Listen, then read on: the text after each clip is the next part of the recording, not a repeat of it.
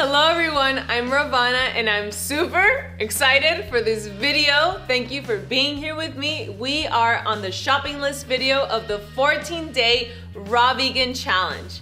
If you want to participate in the challenge, you can do so by subscribing at rawvana.com and I will leave the information to all of that in the description of this video. Okay, so in this video, I will give you my four tips that I recommend to succeed in this 14 day raw vegan challenge. Tip number one is to eliminate all the food from your house that you know is going to be tempting. Now, if you're already vegetarian or vegan, this might be like vegan junk food or maybe even raw vegan junk food. Because when the time comes when you're anxious or depressed or bored, you might be tempted to eat those foods. So it's better to just leave them out. So clean your pantry and just give it away or do whatever you need to do to not have that food in your home. Tip number two is to fill your house with fruits and vegetables by going to the farmer's market. It's gonna be fun and just seeing all this abundance of color and deliciousness is really going to motivate you to eat more raw fruits and vegetables. And I make it easier for you guys by giving you a shopping list and even giving you the daily meal plans so that eating raw can be almost effortlessly. All you have to do is prepare it and eat it and enjoy it. So tip number two is fill your house with fruits and vegetables. My tip number three is to fill your kitchen with some gadgets that will make eating raw more enjoyable and easier for you. So gadget number one is just a cutting board and a knife. And honestly, if you don't want to buy other gadgets, this is all you need. So just a cutting board and a knife. It's as easy as just cutting a watermelon, just like this. Gadget number two is a high-speed blender. Honestly, when I first started eating raw, smoothies were my favorite and I still enjoy them, but now it's different. Like you go through through different stages. But honestly, if you can get your hands on a high-speed Vitamix blender, and I will put the ones that I recommend in the description of this video as well, I really recommend that you do.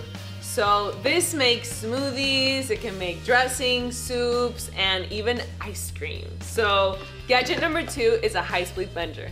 The third gadget is a juice extractor. Oh my gosh, green juices. I love green juices, beet juices carrot juice. It's so good. Oh, and they're so good for you too. So for a lot of people that eating greens is kind of hard, I really recommend that you get a juice extractor because greens are very important since they are high in minerals like calcium, iron, things that you need and that honestly make a huge difference in your energy when eating raw. So my gadget number three is a juice extractor. My gadget number four is a food processor. And it honestly makes just life in the kitchen much easier. So if you're a little bit more advanced, I really recommend that you get a food processor. This can make anything like ice cream, you can like blend really well dates for desserts, you can shred things really fast. It just makes life easier. It's very easy to clean. So I just really recommend that you get a food processor if, if you are thinking about it. So gadget number four is a food processor. gadget number five is a spiralizer. It makes noodles, zucchini, cucumber, carrot, apples, whatever you want and you actually see how the textures in raw foods make a huge difference when it comes to taste and just more enjoyability. They're very easy to use, they're inexpensive, and I really recommend that you get one. And I will put the link to that in the description of this video as well. So gadget number five is a spiralizer. Finally, gadget number six is a chopper. This is one of my personal favorites, especially when you're making salads or fruit salads. It just makes chopping a lot more easier. It has a lot of shapes, different sizes. My favorite one is the square one. And for example, I love to have apple in my salads and I just simply put in the apple and it just chops it up into little cubes or it's just like like like like, like little magic. Again, it just makes life in the kitchen a lot easier. So final gadget number six is a chopper. Tip number four is to write out your goals. It's very important for us to be clear on what we want to achieve, especially in this challenge. Do you want to go fully raw? Do you want to go vegan?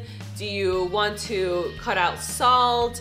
What are your goals? So I recommend that you write down your goals on a piece of paper or on a board or on your phone or wherever you can see them constantly to remind you of that. Another thing is for you to write down red flags.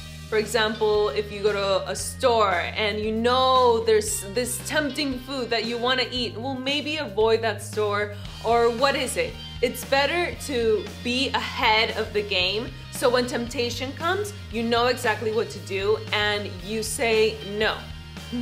So tip number four is write down your goals and your red flags. Thank you guys for watching this video. I'm so excited for everyone who's deciding to join this challenge. It's gonna be fun, it's gonna be exciting, we're gonna be supporting each other, and it's just making eating raw fruits and vegetables more fun. And I'm so excited that the next time we see each other, it's gonna be the first video of the 14 day raw vegan challenge. Yay! All right, you guys, I'll see you guys in a few days and well, go stock up on your fruits and vegetables. Bye!